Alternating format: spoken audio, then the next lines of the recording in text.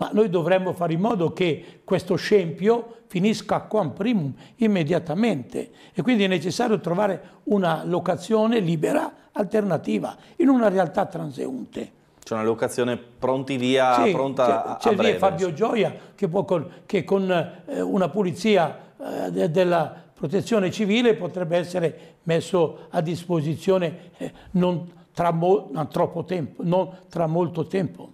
Monsignor Ettore Mannati invoca la protezione civile per l'intervento immediato nella gestione dei migranti senza tetto e l'allestimento di un centro per l'accoglienza notturno, un punto di accoglienza che possa sgravare il Silos dalla situazione degradante in cui versa. Quindi viene rispolverata l'ipotesi di utilizzare il vecchio bazar di via Flavio Gioia, ma Don Mannati più in generale pone una riflessione sulla questione umanitaria. Bisogna fare qualcosa per queste persone che vivono nel fango e nella sporcizia. È anche un problema sanitario che riguarda tutti. Bene che si stiano velocizzando velocizzando le procedure per la chiusura del Silos e si investa nel campo scout di Prosecco, ha rimarcato Monsignor Mannati nell'approfondimento serale di Tele4.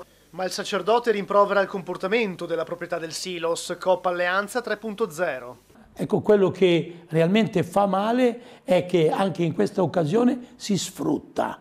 Quindi la proprietà sfrutta, senso di dire mettiamo, mettetemi a posto il Silos, aiutatemi a mettere a posto il Silos e io lo vendo. A me interessa la dignità delle persone, non interessa la, la, che la proprietà faccia del denaro uh, sul, sul silos che è stata un'onta per la nostra città, ma si rende conto che questa proprietà ha impedito praticamente di poter entrare e poter fare in modo che queste persone potessero essere accompagnate in un'altra struttura? Questo è un problema. Il mio problema è queste persone avranno ancora tempo di disattenzione nei confronti della loro dignità? Questo mi preoccupa.